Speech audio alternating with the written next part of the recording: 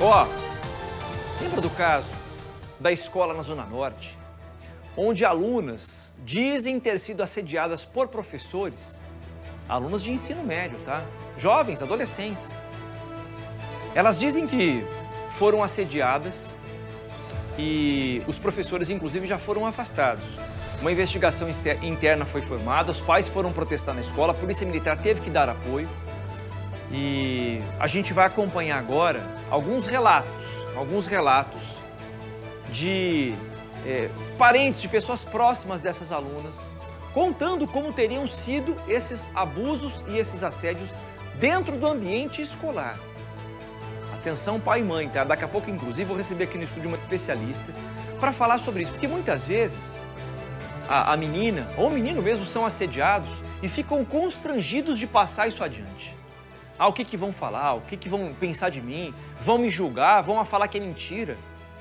A gente tem que estar atento como pai e mãe aos sinais que os nossos filhos transmitem, para que a gente possa ajudar nesse começo e, especialmente, tirar de cena o assediador e o abusador. Vamos ver o que, que diz a, a testemunha sobre esse caso. Ela relatou para gente, né, no mesmo dia que aconteceu, é, ela estava chegando, saindo do recreio, né, do intervalo, e subiu nas escadas, que ela estava estudando no segundo andar, e encontrou eh, o professor. O professor não era professor dela ainda, né, ele foi agora esse ano, e, e abordou ela, passando a mão na perna dela e falando assim: essa calça que você tá é de shopping você não pode ficar vindo com essa, essa calça, esse tipo de calça na escola. E ela falou: não, eu não tenho educação física com você, e hoje eu também não tenho educação física com o meu professor, e não tem por que ser do shopping.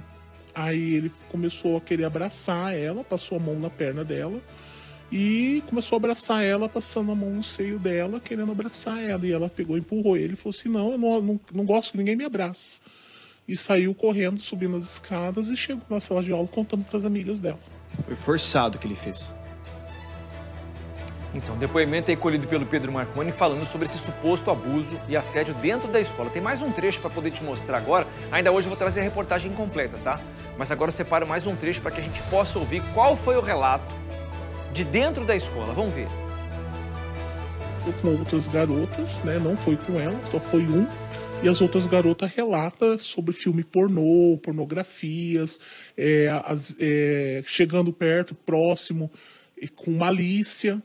Do professor que fez esses atos contra a sua filha, chegaram mais denúncias em relação a atitudes dele, nesses grupos de mães, nessas conversas que vocês têm, vem tendo com outras famílias? Sim, sim, bastante. Não são só. É porque quatro é, conseguiram a medida protetiva, estavam atrás faz um tempinho, mas agora, inclusive, está tá aparecendo mais mães novas, né? Mais relatos novos, né? Absurdo, inclusive. Para você como mãe, é, recebendo uma notícia tão grave disso que aconteceu no colégio, que sentimento que gera? Ai, de dor, tristeza, raiva. É um sentimento assim de que a gente tá sozinho e a gente depende de vocês, a gente depende do juiz, a gente depende porque isso não pode acontecer, né? A mãe, essa é a mãe de uma aluna, tá? A mãe se sente realmente invadida, porque a filha é, é, é a maior bênção que ela tem. Ela tem que proteger o tempo todo. E quando está na escola, ela confia de que a escola está cuidando. De que os professores estão lá para ensinar.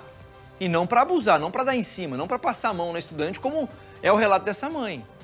Você como pai, como mãe nesse momento, como é que você se sentiria se fosse a sua filha?